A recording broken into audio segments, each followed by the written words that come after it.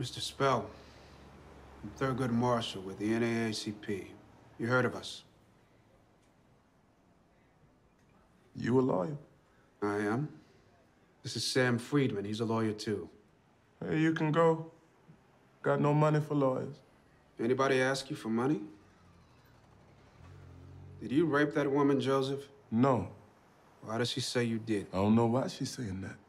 She says you raped her and tried to kill her. She lying. I'm telling you this up front. The NAACP were not like most lawyers. We only represent innocent people, people accused because of their race. That's our mission. You understand?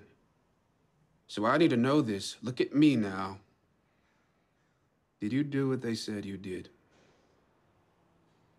I never touched that woman.